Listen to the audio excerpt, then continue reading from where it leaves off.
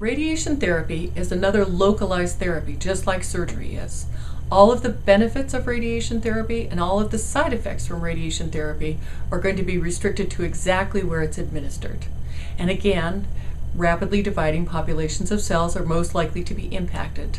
That may be your skin, because we slough the surface of our skin and grow new cells underneath all the time, but you're going to be able to rapidly repair and repopulate those regions. It may be your hair follicles. It may be the mucous membranes of your mouth. But again, we'll go through in detail with you what to expect whenever we perform radiation therapy. But what we don't see is radiation sickness.